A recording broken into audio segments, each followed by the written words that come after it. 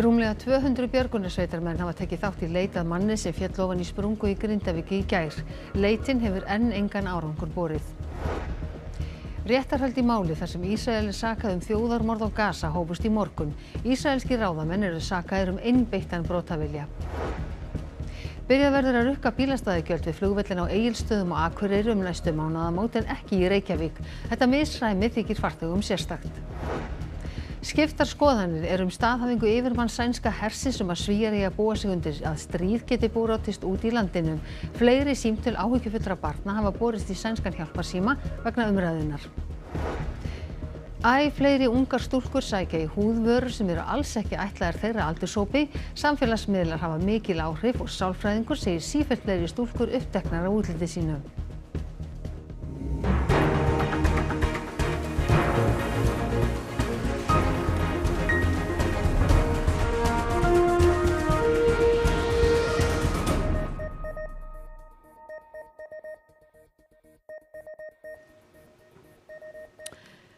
Komið sæl. Leit að manni sem fjall ofan í sprungu í Grindavík í gerðmorgur hefur enn engan árangur borið. Talið er að sprungan sé rúmlega 20 metra djúb en hún myndaðist í jarðhræðingunum í november. Rúmlega 200 björgunarsveitarmenn hafa tekið þátt í aðgerðunum með einum eða öðrum hætti. Unni var að því í dag að vika sprunguna svo leitarmenn getur betur aðtapnað sig. Hún er þrengst efst en víkar þegar neðar er komið og nokkura metra djúpt vatn á botninum en notast hefur verið við neðan sjávar dróna til að leita ofan í vatninu. Nú Alma Ómarsdóttir fréttamaður er í Grindavík og hefur endar verið þar í allan dag. Já Alma, hvernig hefur leitin gengið í dag? Já, Jóhanna, eins og framhefur oft komið í fréttum í dag að þá eru aðstæður hér á vettvangi gríðarlega krefjandi og veðrið er sko alls ekki að bæta þar úr skák. Og eins og þið sjáu þá hafa menn hérna unnið nótt sem dag, lagt af við nótt og unni hér að, að leitinni. Ekki bara björgunarsveitarmenn, hér hafa komið sérsveitarmenn, uh, lauruglumenn, slökkvilismenn uh, allir lagt sig eitt til að reyna að finna uh, mannin en án árangurs og eins og ég segja þá eru aðstæður mjög krefjandi.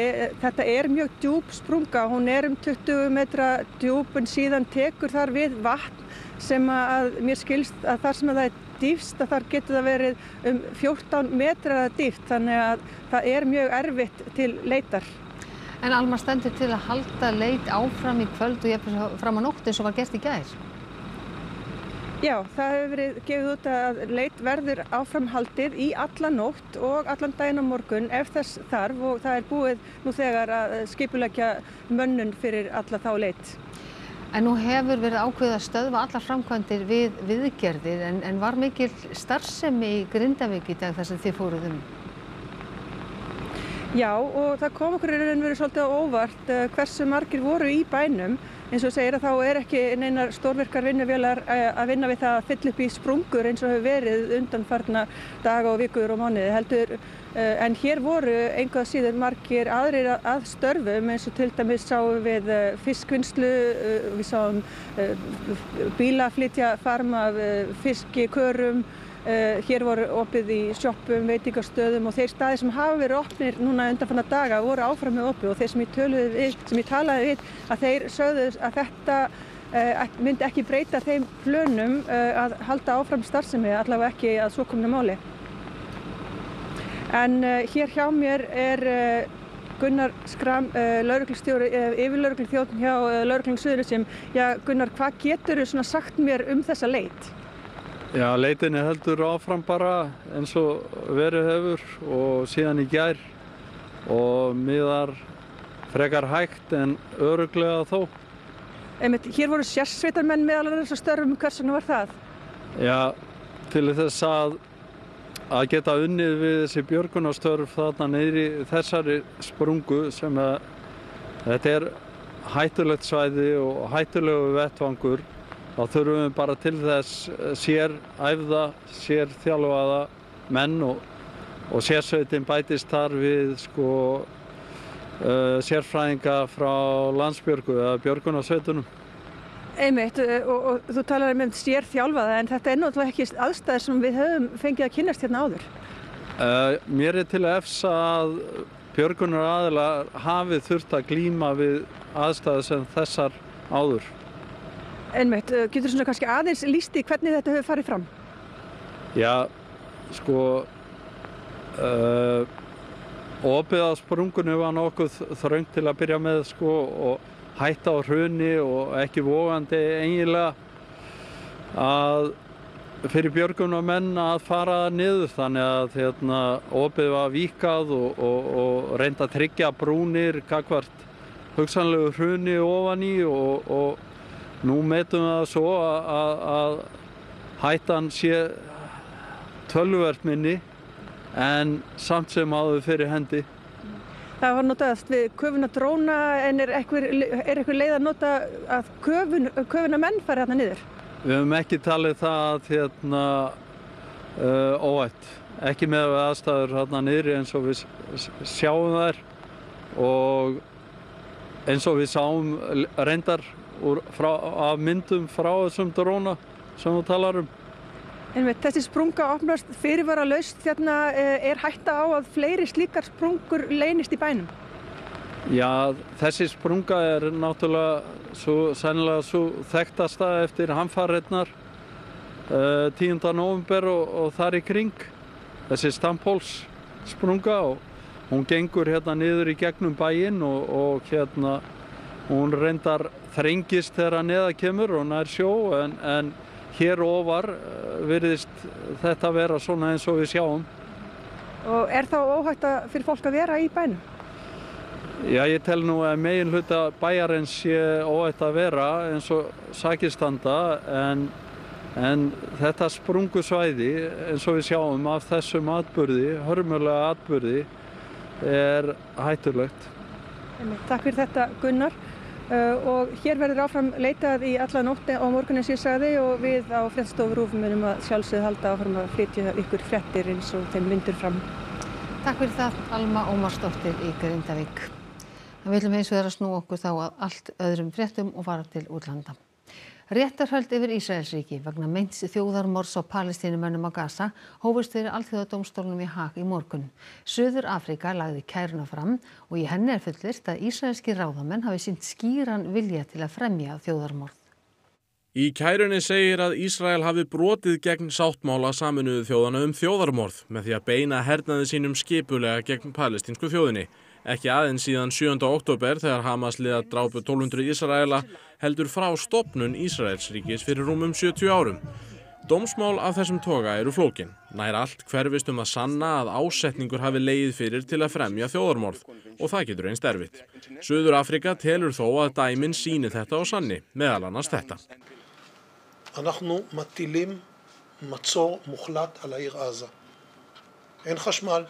En אין חשמל, אין מזון, אין מים, אין דלק. הכל סגור. אנחנו נלחמים בחיות אדם ואנחנו נוהגים בהתאם. Fulltrúar Suður Afríku hófu málflutning sinn í morgun á að fordæma árásir Hamaslið á 7. oktober.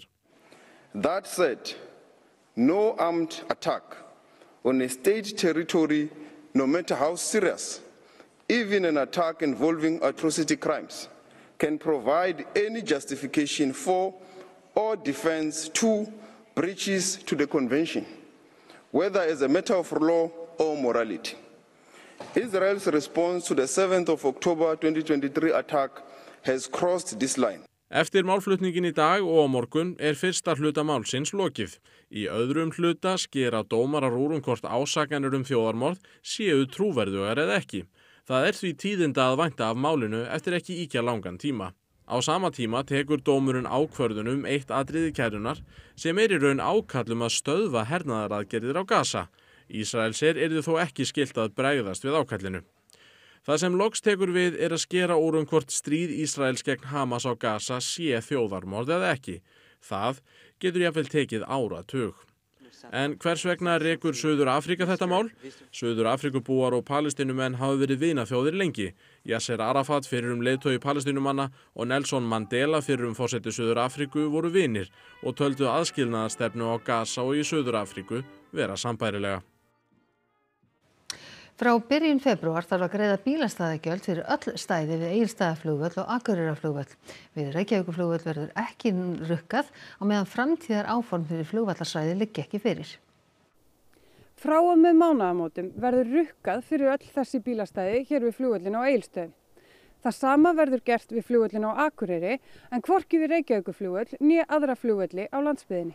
Við hefum engin áform eða innlega þetta á minni áhaldunavöllunum en þetta eru okkar svona tveir stæstu vellir og eru, eru núna komnir í verkefnum það að auka sem rauninu sinn hlut í millilandaflugi þannig að þetta helst í hendur þær áherslu líka að kynna það möguleika sem þarna felast. Ástæða þess að ekki verður rukkað fyrir stæðin við Reykjavíkuflugöll er aftur á móti flækjustig egnarhalds og umsjónar með vellinu.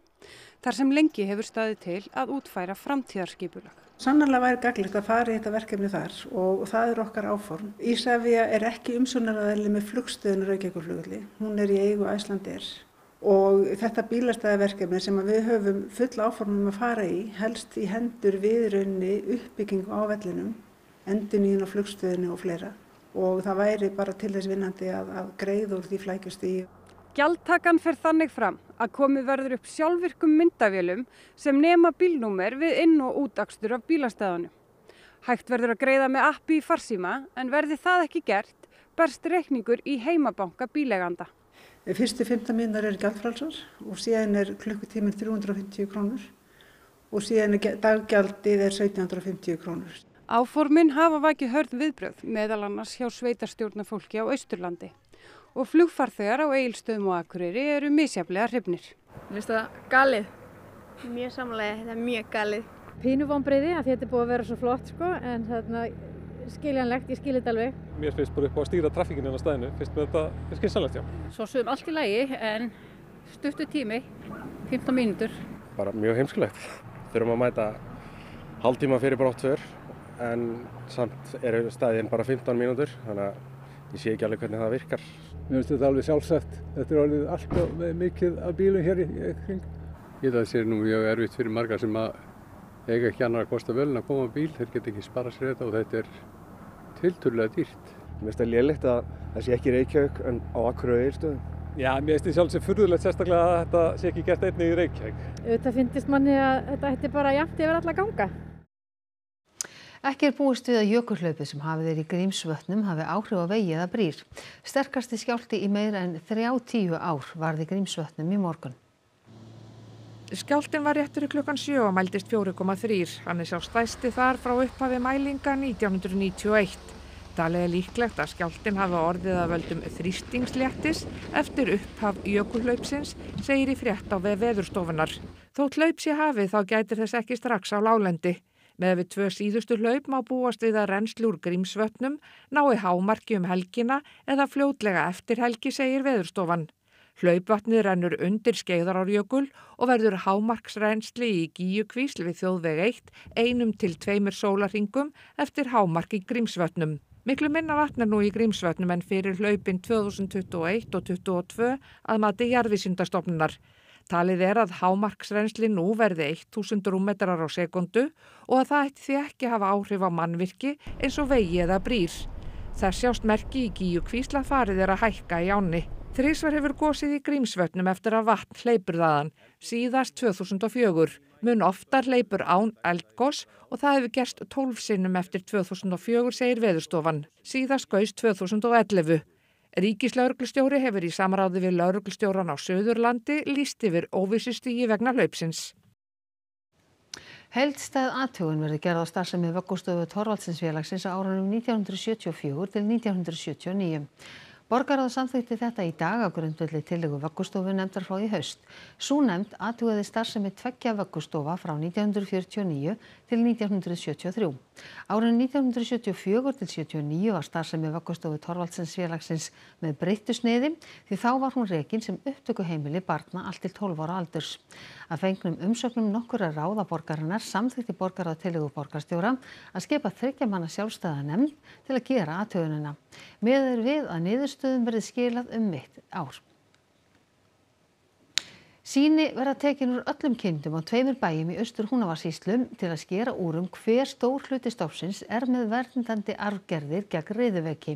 Sameigilegur búrekstur er á bæjanum en riða greindist í kind á öðrum þeirra í vikunni. Síni og slátur fjö frá bænum eðstöðum í Blönduldal leiti í ljós riðuveiki í þryggja vetra kind. Samægilegur búrekstur er með nágranna jörðinni Guðlögstöðum og því allar kindurnar hluti af sömu hjörð. Heldar fjöldi kinda á bæjunum er tæplega 700. Þetta er með stærri sögfjárbúum í Austurhúnafasíslu. Starfsfólk matvælastofnunar á norðvesturlandi fórað Guðlaugstöðum í gær og færði ábúendum tíðindinn. Sangat upplýsingu frá matvælastofnun hafa þau þegið argerðagreiningu á öllu fjennu. Það er gert í þeim tilgangi að skera úr um hversu stór hluti stopsins er með verndandi argerði gagvart riðuveiki. Út frá þeim niðurstöðum er hægt að ákveða hvort fari verði í niðurskurð á öllum bústofnunum eða hluta. Þarna er unni samkvæmt breyttum vinnubröðum á grundvelli nýjustu riður rannsóknar hér á landi. Síni á eðstöðum og guðlaustöðum verða tekin á allra næstu dögum og vonast er til að niðurstöður og greiningu líki fyrir annarkvort í loki janúar eða snemma í februar. Í næstu viku er gert ráð fyrir að afla faraldsfræðilegra upplýsinga meðal annars í þeim tilgangi að kanna samgang við aðrar hjarðir og mögulegar smittleiðir. Fleiri áhyggjufull börn ringja í hjálparsíma í Svíþjóð vegna orðræðum möguleg stríðsátök. Skiptar skoðanir er um staðhafingu yfir maður sænska hersins um að svíjar eigi að búa sig undir að stríð geti brotist út í landinu. Man har ju fått uppleva nu både kyla och strömavbrott och allting utan att vara mentalt förberedd. Men det har ju gått bra ändå. Eh, krig är väl snäppet värre kanske. Orðræða Mikael Bidens hefur vakið viðbröð víða í heimalandi hans. Bidens sem er yfirmaður sænska hersins sagði í viðtali við sænska ríkisjónvarpið að innrós rússa í Úkrænu hefði sínt fram á að svíjar ættu að vera viðbúnir stríðsástandi i heimalandinu. Och det du säger är att man måste förstå att det kan bli krig också i Sverige. Svaret är ja. Varnarmálur á þeirra svíþjóðar er meðal þeirra sem hafa bakkað upp orð Bidens og fagnar aukinni aðsókn í sænska herin undan farin misseri. En á meðan fleiri ungmenni skrási í herin en áður eru önnur áhyggjufullri yfir ástandinu. Talskona svíþjóðadeildar alþjóðlegu hjálpalínunar Brís segir að merkja megi mikla aukningu í símtölum frá sænskum börnum og ungmennum sem hefa áhyggjur að því að stríð geti brotist út. Þau hefur heyrt vangavelturnar í fréttum og á TikTok. Det känns skrämmande men äh, vi får nog finna i det. Är du mentalt förberedd? Jag är mentalt förberedd.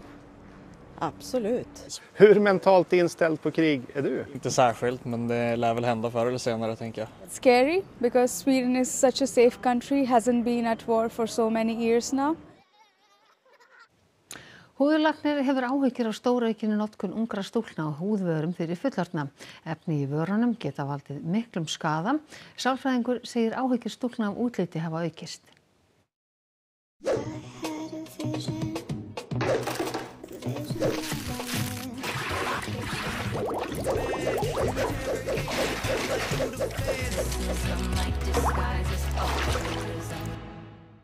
Efni tengt húðumhyrðu flæðir um samfélagsmiðla og börn og úlingar, sérstaklega stúlkur, virðast í auknum mæli nota svo kallaðar virkar húðvörur sem eru alls ekki ætlaðar þeim.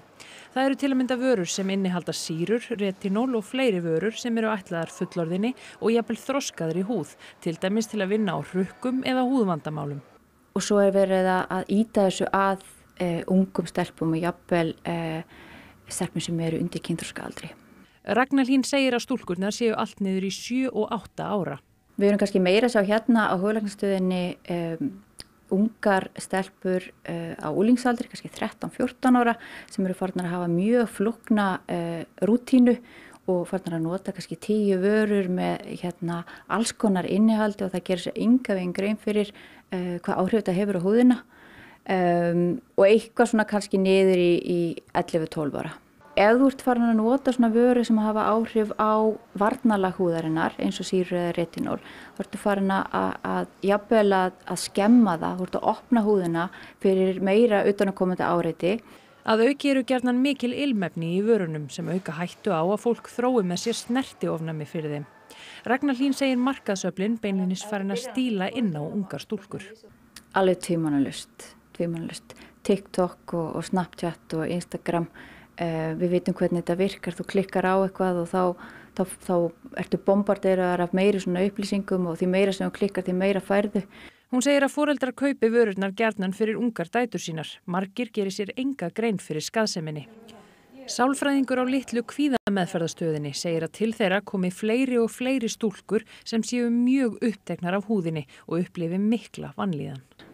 og finnst húðin kannski vera mjög bólótt eða of gróf eða of djúpa svitahólur og menn að það er að jafna þið bara ekkert að húðin þeirra uh, og þær eru að verja mjög miklum tíma fyrir að speilin, skoða húðina, oft mjög nálagt, snerta og þreyfa á húðinni. Sko ég fengi alltaf niður í svona 7-8 ára stelpur sem hafa verið að tala um að þær séu ljótar og eru óanæðar með útliti sitt. Óðinn Svann, hvað ætlið þið að bjóða upp á í Karslösu kvöldsins? Jú, Jóhanna, við komum víða við í þættinum í kvöld. Við ræðum við Pál Einarsson, jarðeðlisfræðing um hvernig sprungur geta haga sér. Við ræðum líka við þrjár handbóltakempur um hvernig tilfinningað er að spila fyrir Ísland á stormóti. Svo eru menningin á sínum stað þar sem að mannátt og sellóleikur kemur fyrir. Ótengt þó.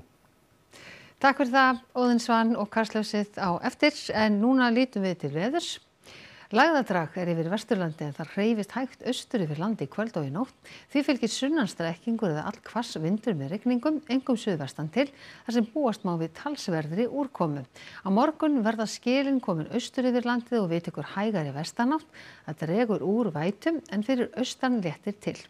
Það er heldur kólnandi veður framöndan. Hrafn Guðmundsson veðurfræðingur hann fyrir nánar yfir, næstu, veð, yfir veðurhörfu næstu daga að loknum íþróttafréttum sem Eva Björk Benediktsdóttir sérum í kvöld. Annar dagur Evrópumóts Karla í handbólta stendur nú yfir. Færeingar leikur sinn allra fyrsta leik á Evrópumóti gegn Slóveníu í dag. Íslenska liðið hefur leik á morgun gegn Serbíu. Við heyrum í okkar mönnum í munn hér. Og refurinn Jarl verður með óvænta innkomu í íþróttafréttum kvöldsins. Þetta og fleira hér strax að loknum fréttum. Og við ætlum að reyfja upp helstu atriði fréttatímans áður við hverjum ykkur. Rúmlega 200 björgunarsveitarmenn hafa tekið þátt í leitað manni sem fjall ofan í sprungu í Grindavík í gær. Yfir lauruglu þjótt segir að leitinni miði hægt og aðstæður séu afar erfiðar. Réttarhöld í máli þar sem Ísrael er sakað um þjóðarmorð á Gaza hófust í morgun. Ísraelski ráðamenn eru sakaður um einbeittan brotavilja. Byrjað verður að rukka bílastæðugjöld við flugvellina á Egilstöðum og Akureyri um næstu mánaðamót en ekki í Reykjavík. Þetta misræmi þykir farþegum sérstakt. Skiptar skoðanir er um staðhafingu yfirmann sænska hersins um að svíjar eigi að búa sig undir að stríð geti brotist út í landinum. Fleiri símtöl áhyggjufullra barna hafa borist í sænskan hjálparsíma vegna umræðunar. Æ fleiri ungar stúlkur sækja í húð vörur sem eru alls ekki ætlaðar þeirra aldurshópi. Samfélagsmiðlar hafa mikil áhrif og sálfræðingur segir sífelt fleiri stúlkur uppteknar af útliti sínum. Þessum fréttatíma er að ljúka og nú er komið að íþróttum, veðri og svo er það Kastljós. Næstu fréttir er í útarp og sjónvarpi klukkan 10 í kvöld og nýjustu fréttir má alltaf finna inn á rú.is. En fréttastofan takkar ykkur samfélgina þar sem afir þessum degi verðið sæl.